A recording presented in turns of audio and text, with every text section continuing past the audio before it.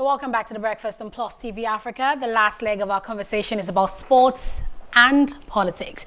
Now, should political activism be brought into sports? That's uh, one big question we're asking on sports with Wale Scott this morning. And that's because the English FA is unhappy with Manchester United's Paul Pogba's raising of the Palestinian flag after his club's final home game of the season. Pogba raised the flag with his teammate Amad Diallo just as two other players did last weekend when Leicester City beat Chelsea to the FA Cup final. Uh, we're glad to have you again, Wale Scott. Now, the first question really is, should men and women, sportsmen and women, be allowed to express their, you know, political uh, sympathy or political uh, leaning to a cause on the pitch? Honestly, for me, no. Um, yes, they have a right. They have their personal lives outside their jobs, yes. And of course, um, they have their political affiliations in their houses. They will have their whatever thing they support in their houses. But I think when you are a public figure, when you're in the face of the public consistently, there are some things you just let go. You don't bring them to the fore. We remember that um, Mesut Ozil um, got involved in the Turkey-Germany row. His mother was Turkish.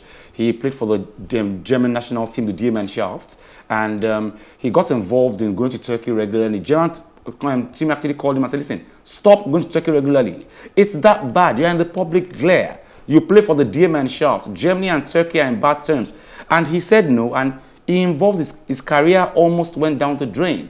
Arsenal refused to play him because Germany got involved in making sure he wasn't played. He eventually had to go back to Turkey, left everything he had in, in Germany and sold them away. He now lives in Turkey permanently, now plays in Fenerbahce in Turkey. Um, what I'm saying is, you can have those things and keep them at home.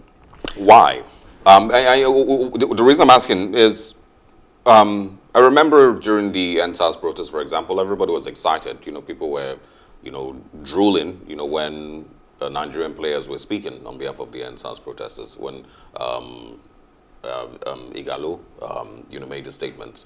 Um, a lot of times, you know, we've also seen Naomi Osaka uh, speak with regards uh, the Black Lives Matter. She wears, you know, their names on her shirt and on her face caps and all of that. LeBron James does the same thing. Yes. So why is it different when it's Palestine or when it's Turkey? What I mean is, even when it comes to Black Lives Matter, for example, I've always said that there are ways, it's, it's a different ball game when a whole team, like three of us here, agree to, we're talking against this this morning. Mm -hmm. You know, it's a different case when it's an ongoing war. Even Black Lives Matter, it, be, it actually became a case of a joint arrangement. You know, when you are in the public glare, there's something, for example, I have problems at home I don't come to the office all frowning okay, on the program. Mr. Wale Scott, Wale Scott, I need to I need to make sure we, we, we have a clear distinction between a personal issue. You've mentioned this for the second or third time now. The Israeli-Palestinian conflict is not a personal matter. This is what's happening here now in Gaza is like one of the worst hostilities between Israel and Palestine in recent time. Lots of people have died and most casualties are on the Palestinian front. So pe other people will argue that Pogba and his colleague Amad Diallo are not wrong to take a stand, uh, you know, when it comes to the Palestinian conflict. I, I needed to make sure I would that never go against that, that that's not a personal The thing. Palestinian-Israel um, issue is just the case study for this morning.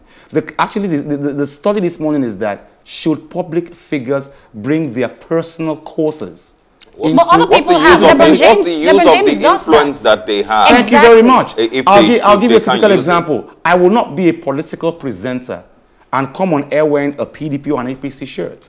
You see, you can't afford to take sides. I, I, I know of people who have, who, I know a particular person who um, ha, is, is a brand ambassador for an alcoholic beverage He's mm -hmm. never liked it. But let me, let me never, that, that analogy doesn't even work because it if does. You, you, listen, you, you, if you're a political, you know, presenter, if you're a news anchor, you know, you do politics, and you're taking sides on political parties is different from being a sports player. You are a footballer. Now, no, so, so if you're, if, you're, if you're a footballer and then people, people if you say you're a footballer and then you're taking you know side between FIFA and UEFA, that, that's a different thing entirely. I would have, I would have actually preferred that. That would be taking sides but too. That's all football. But you see, you know, in, in, you, you, it's a different analogy. In this situation, the English football. FA, for example, let me stick their size on this mm -hmm. one. Mm-hmm. The English FA are saying we have taken you as a footballer.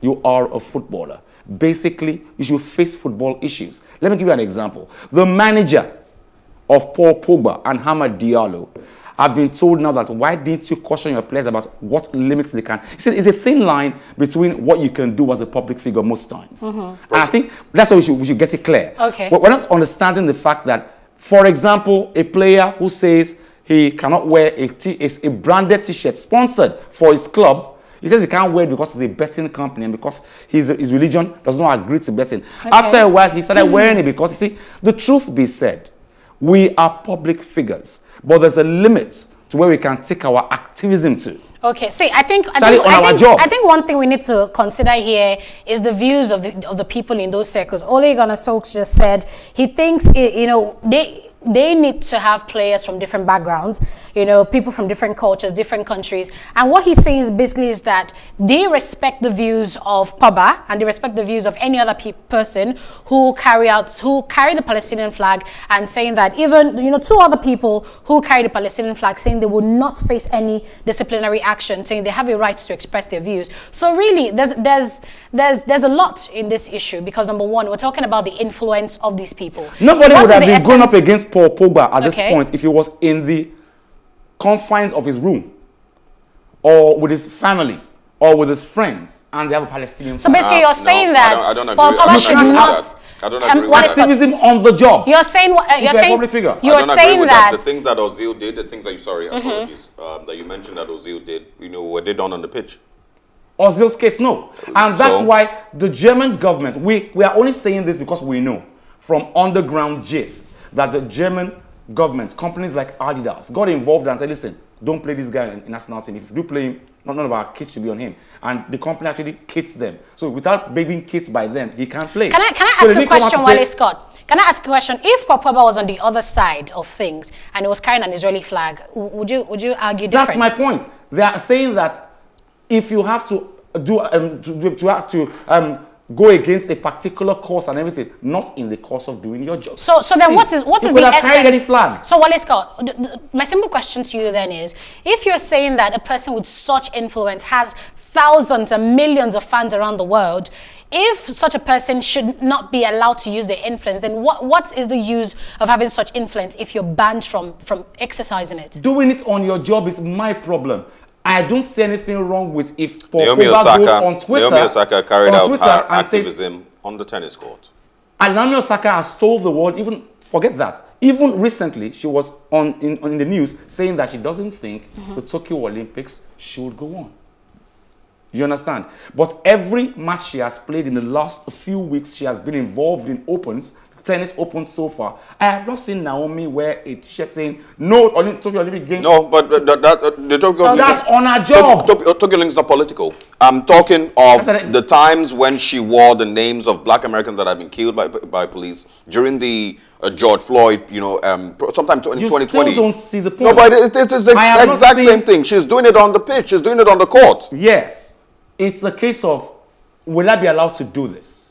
Will this cause any serious issues? See, Okay, exactly. why is, why is exactly. hers not Exactly. causing issues, but why is Pogba's one causing an issue? No. See, exactly, Pogba exactly. Is not, the only- Pogba is not the only person involved in this situation. Ahmad Diallo is involved. Yes. Two other, why is it two two other, Why two other, two other, two other. Listen, Great. So why are these four players, wh- why is it their own causing a problem? we are when Black Lives Mattered started.